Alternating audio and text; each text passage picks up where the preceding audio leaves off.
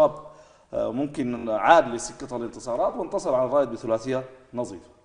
والله الشباب آه، عاد لسكة الانتصارات زي ما قلت وقدم مباراة جميلة ضد الرايد آه، الشباب بقيادة آه، هتان بهبري أمس في صناعة اللعب يمكن صنع هدفين لبنيجا نعم. ولكارلوس جونيور.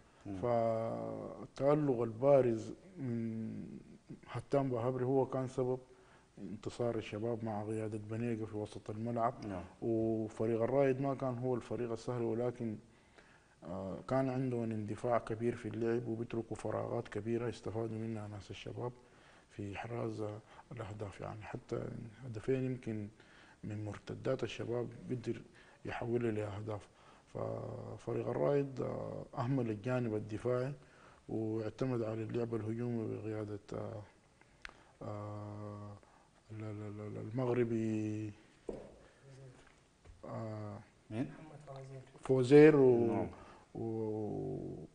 ولاعب نادي النصر السابق آه، يحيى الشهري نعم وأحمد الزين فأهملوا الجانب الدفاعي ويتقدموا على حساب الجانب الدفاعي فكانت آه، بتلقوا أهداف من المرتدات الشبابية اللي كانت بتتنفذ باجاده تامة من خط هجوم الشباب نعم آه.